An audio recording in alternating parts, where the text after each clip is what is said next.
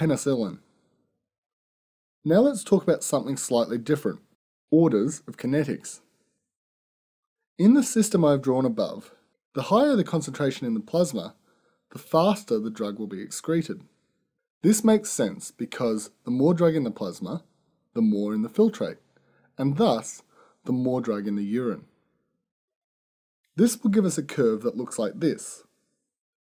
So the speed at which the drug is being eliminated slows down as the plasma concentration drops. Note, however, that the half-life is a constant. When a drug behaves like this, we call this first-order kinetics. Now let's change the situation a little. As we saw in the previous tutorial, drugs often have to be metabolized by an enzyme prior to excretion.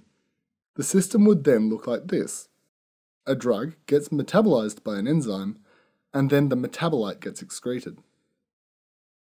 Normally, the drug still conforms to first order kinetics. However, in some situations, there is a limited amount of enzyme and too much of the drug. The enzyme saturates, meaning that it is all used up and is working at 100% of capacity. This means that if more drug is added to the body, it won't change the rate of excretion because there is no extra enzyme to process the extra drug. This effectively creates a bottleneck in the process, and the rate of excretion is now independent of the concentration of drug in the plasma.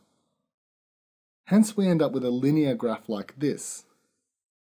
Note that in this case, the half-life is not a constant value anymore. It is dependent on the current concentration of the drug. When a drug behaves like this, we call it zero order kinetics. Drugs with zero order kinetics are more easily overdosed because the rate of excretion doesn't